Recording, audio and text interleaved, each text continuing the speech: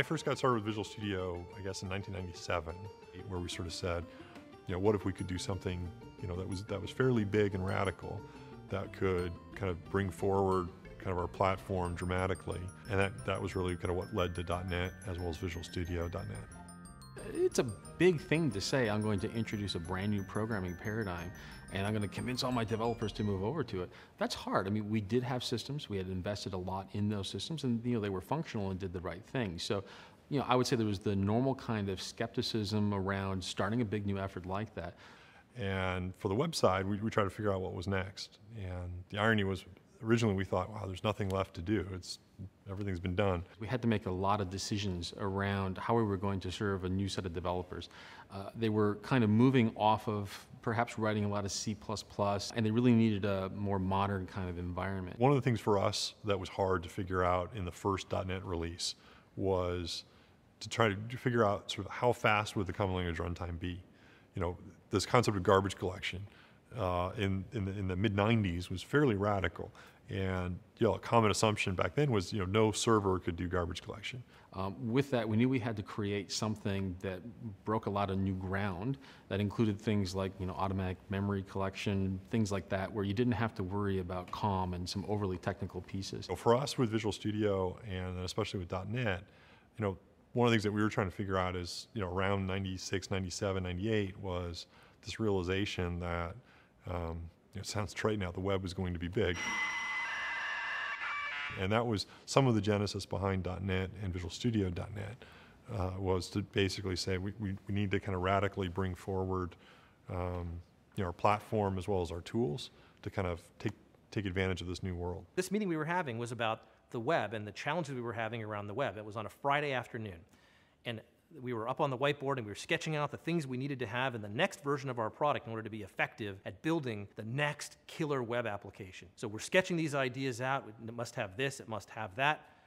And we all break at the end of Friday afternoon and, and we, we committed to get back together again on Monday morning. And so I, you know, I kind of over, I think, Christmas 97, uh, between 97 and 98, kind of prototyped uh, the first version of ASP.NET. Scott Guthrie walks in with what appears to be a fully functional version of Visual Studio that he wrote over the weekend that had most of the features that we described in this meeting. And it was very simple and you know it didn't do everything and it used COM and JavaScript and uh, C++ and a whole bunch of other things. But you know, get kind of the fundamentals of building a page, having a component model, having kind of a security architecture and pipeline and a whole bunch of things.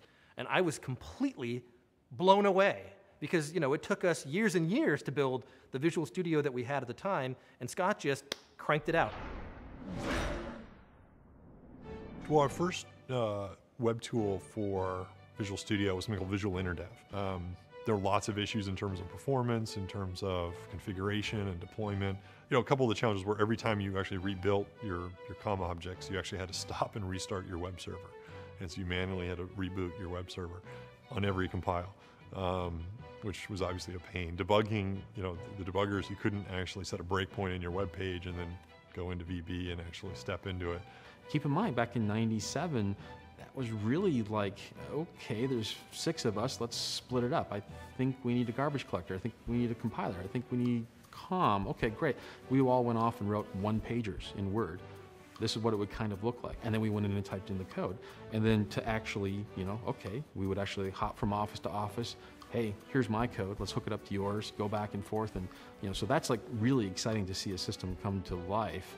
Uh, that was a few million lines of code ago, but yeah, it was a lot of fun. We sort of said at the, at the end of the day, customer apps are going to be probably bigger or represent a bigger part of the code running than the actual framework uh, that we're building. If we can't make our own framework run fast, then customer apps aren't going to run fast either. And so we made this big bet to, to build ASP.NET almost entirely in C Sharp um, and managed code. And that was very risky in the beginning. And we do perf numbers and we have like, you know, four or five requests per second for Hello World. And you think, God, we're never going to be able to ship this thing. And then, you know, each week we'd kind of optimize and optimize and optimize and optimize. And we'd get up to 10 requests a second and then 20 requests a second and then 40 requests a second and then 100 requests a second was a big time. And you know, eventually we get up to thousands of requests per second. And again, these are namespaces that today you just say, you know, system dot, you know, interop dot, you know, whatever. But we had to go create all that stuff from scratch. We did literally go type it all in.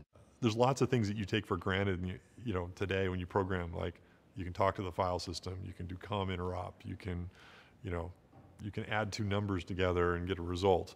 And you know, when you're in the early days, like we were uh, with .NET, you know, each of those things was a big milestone when those things finally worked. It was amazing to watch the system just bootstrap. Um, just being able to go in, and I remember the first day where we put the 50 of us in a room, and we actually showed uh, the Fibonacci sequence, that little program, running with hard-coded IL, and it printed out the numbers on the screen, you know, which for a bunch of engine geeks was like, you know, wow, you know, standing out, that's just awesome. I think the fun thing with the early days of, of .NET and VS were, um, you know, the fact that it was such a small group and you knew everyone, and you know, you could fit everyone in one room.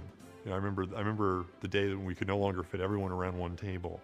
Uh, was a big day. You know, it was like, wow, we need to get a bigger conference room. And you know, now the, the project's bigger. There's a lot more people working on it, um, and you know, so so sometimes you miss the the intimacy of I know everyone's code by sight.